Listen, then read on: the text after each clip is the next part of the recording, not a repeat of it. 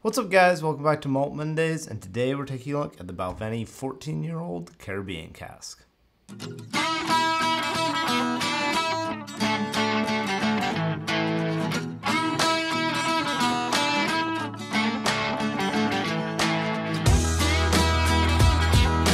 in Scotland would you accidentally drive up to Talisker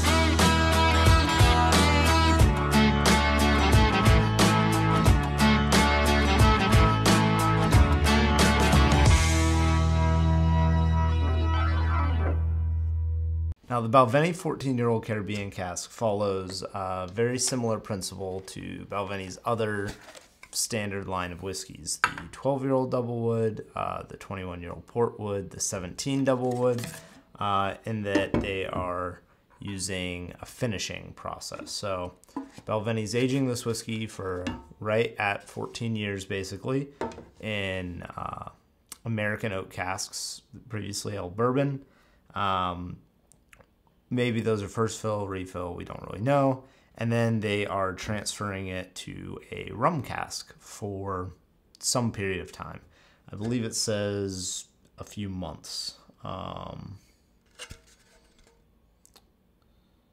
yeah. I don't see it on here specifically, um, but I do know they say on some of their other bottles the time period, and traditionally it's a few months. Um, so it's a light finishing. Uh, but what that does for you is it really lets you control the influence of that flavor more. Uh, if you were to age it exclusively in rum casks, um, then it might be way too powerful in terms of the flavor of the rum versus the whiskey. And Balvenie's style tends to be pretty light in general. Um, and so I think David Stewart, uh, at least his style as a master distiller, is to really highlight his spirit and the Balvenie spirit um, and use the cask finishing process as a way to add to that rather than uh, kind of the way Macallan might do it, where Macallan is really all sherry cask, or at least for a long time it was uh, and they're kind of showcasing their cask selection more than you know other aspects of the brand. So um, I like that this comes in kind of a, a different, a very different looking uh, tin than the others in terms of color. Um, it makes it stand out, and it's bottled at 43%. So again, we have above 40% ABV. Um, not much, but it still does make a difference. And Balvenie doesn't add artificial coloring, uh, according to the uh, North American brand ambassador for Glenfiddich, which is the parent company of Balvenie. Um, so that may be different in your market, and it's possible she misspoke when she told me that, but uh, I do believe that Balvenie's natural color in the American market. So a nice golden color, which makes sense. Rum once it's been aged in casks, it's gonna it tends to be a darker spirit. Um, and so right away on the nose of this, it's really quite floral. And actually, I would say the aroma of this whiskey is very, very similar to the Balvenie 12 year old single barrel um, in terms of the, the vanilla notes, the really light some nuttiness, uh, some honey, just a little bit of citrus in there.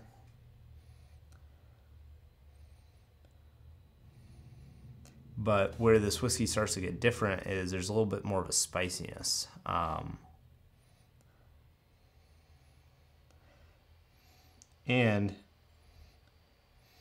it has a little bit more of a tropical fruits. Um, it's like it doesn't really smell like rum. I would say it smells way more like whiskey than rum, but I think even if you didn't know that this was aged in a rum cask, uh, you would be able to tell that it's not in just a bourbon cask, not in a sherry cask, uh, or port cask, or any of the other typical um, typical finishings. I think it's got just enough of a different aroma uh, that really separates it from those. Although I think the rum is pretty restrained on the on the smell. So no no sharp alcohol burn on the nose. Um, smells well put together. I really like the nose on this one. I do wish it was a little more intense, um, but again, Balvenie is a lighter whiskey, so let's see how it tastes.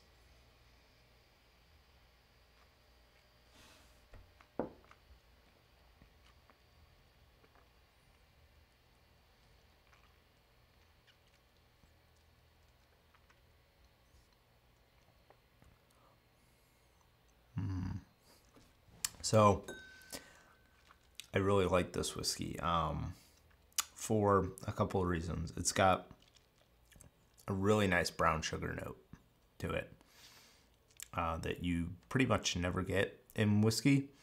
There's there's some whiskeys that you might get like a creme brulee, like a burnt sugar, but this really has that brown sugar, that syrupy flavor to it from the molasses, um, from the rum, and it's it's really really gives it this nice thick oily feel, despite how light the nose is. And I think that I think the nose is actually the weak part of this whiskey. Um, the the nose makes you think it's going to be a really really light flavored whiskey. Um, and I don't think that's quite the case. I am getting a little more of the oak on the nose now after tasting it, now that my palate's kind of adjusted to the sweetness of the whiskey. I'm noticing more of those spices and oakiness, but still very not much because it is a younger whiskey. Um, but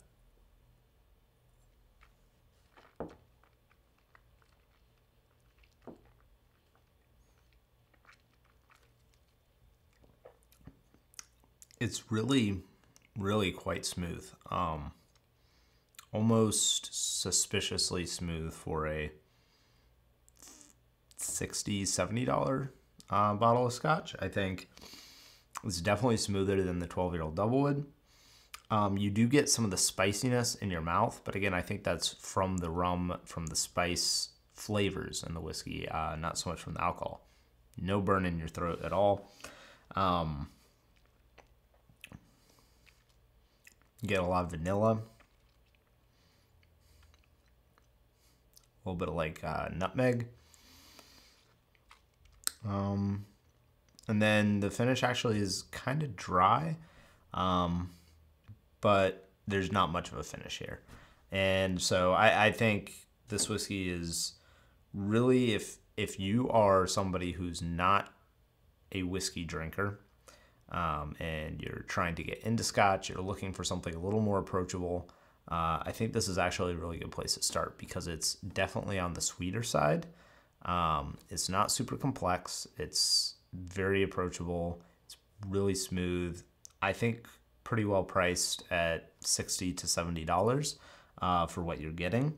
Um, especially considering the 15 year old jumps up to 110 $120 um, now, there's a reason for that. It's a single barrel whiskey, higher ABV, etc. But I think um, in the market, there's not very many rum cask whiskeys. So you're getting something not unique there, um, but definitely uh, not your standard 14 year old scotch. And I think, especially if you like rum at all, you're going to like this. It definitely has those rum flavors. Um, and while they're not overpowering, most of the flavor is still the base spirit. Um, I think it enhances it really nicely. So I I do think this is a great um, beginner scotch and a great scotch to try if you're looking for different flavors. Um, but I, I don't think this is going to really wow you if you're looking for complexity um, in any sense. I think you really want to um, look at some something else. Uh, and under the hundred dollar price point, that's hard to find a lot of really good complex whiskeys. Um, but that being said, I think this is a great buy, and I would definitely recommend you try it. So if you have tried the Balvenie 14 year old, let me know down in the comments below, and uh, let me know what you think of it, whether you like it or not, and why. And if you like this video, please give me a thumbs up and subscribe to my channel. Thanks for watching.